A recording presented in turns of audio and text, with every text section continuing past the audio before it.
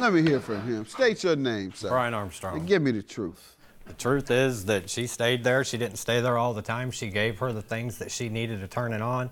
She was going to pay that in order to stay there whenever she needed to. She was hardly ever there. We moved out. She knew we left. We didn't even know she didn't even pay the bill until we just got this a couple months ago. Now he sounds convincing. Never knew none of it. Talking about him, the way he looked, and the way he's sitting there, nodding out, all of that. And the man come up here, he convinced me. Your Honor, it's impossible for me to work a job from 2005 to 2006 living in Alabama. And I also have a, a statement from my husband that I married um, Which the one? beginning of 2006. What did you say? I want to Which hear that gossip. What husband? husband? Yeah, well, There's- now we got there's some been like- gossip. Be quiet. Let me hit some. I'm this. sorry. So, There's been I like have How many?